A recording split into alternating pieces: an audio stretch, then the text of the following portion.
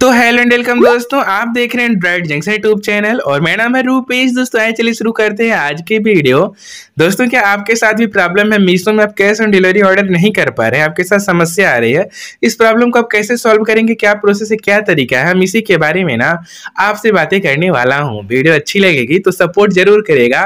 Video को like एवं channel को सब्सक्राइब और आपको मैं कैश ऑन डिलीवरी ऑर्डर करवा के रहूँगा। पूरा आप किसी भी लोकेशन से हो, आप कैश ऑन डिलीवरी ऑर्डर कर सकते हैं। मीशो में फीचर्स हैं, जिसे आपको क्लेम करना पड़ेगा, वह फीचर लेना पड़ेगा।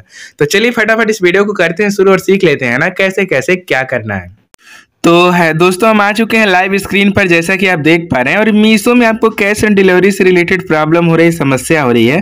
तो 100 परसेंट सोल्यूशन लेकर आ गया हूँ मैं इस वीडियो के माध्यम से। तो आइए आपको बताते हैं, पूरा ब्यौरा, पूरा यहाँ पर जो प्रॉब्लम इसका सोल्यूशन तो सबसे पहले तो हमें मीशो ऐप को ओपन कर लेना है, ठीक है? और हमने मीशो ऐप को यहाँ से ओपन कर लिया, जैसा कि आप देख पा रहे हैं। अब हम थोड़ा सा वेट करते हैं, ठीक है? और हमारे सामने मीशो ऐप हमारी ओपन हो गई, जैसा कि आप देख पा रहे हैं, ठीक है? यहाँ से कट कर देते हैं। और हम जैसे मान लीजिए कोई भी सामान खरीदना चाह रहे हैं, जैसे मान लीजिए यहाँ पर हम लेने जाते हैं कुर्ती, ठीक है? और सर्च करते हैं। और मान लीजिए ये कुर्ती हमें पसंद आ रही है। इसमें मैंने क्लिक किया और यहाँ से बाई नाउ पर जाते हैं। साइज़ लेते हैं और इसमें से कोई एक ऑप्शन ले लेते हैं। पहला ही ले लेते हैं, ठीक है? और बाई नाउ पर जाते हैं। और यहाँ एड्रेस फिल करना होता है तो हम सारा एड्रेस अपना फिल कर देते हैं। नाम फ़ोन नंबर सारा कुछ, ठीक है? फिल करने के बाद डिलीवर टू दिस एड्रेस पे क्लिक करते हैं। और यहाँ से जब इस पेज पर हम आते हैं और यहाँ पे कैश ऑन डिलीवरी ऑप्शन यदि अवेलेबल नहीं मिलता है, ठीक है? तो फिर हमें क्या करना पड़ता है? मैं आई मैं आपको बता रहा हूँ। दोस्तों, होता क्या है अक्सर? और यहाँ पर जो हम बातें बता रहे हैं, इसको ध्यान दीजिएगा और जो मैं सोल्यूशन भी बताने जा रहा हूँ, दोनों पर फोकस ज़रूर करिएगा। देखिए दोस्तों, मेरे में तो एलिजिबल नहीं था पहले, लेकिन एलिजिबल हो गया। मैंने कौन सा ट्रिक लगाया, कैसे एलिजिबल हुआ आई मैं आपको बताता हूँ।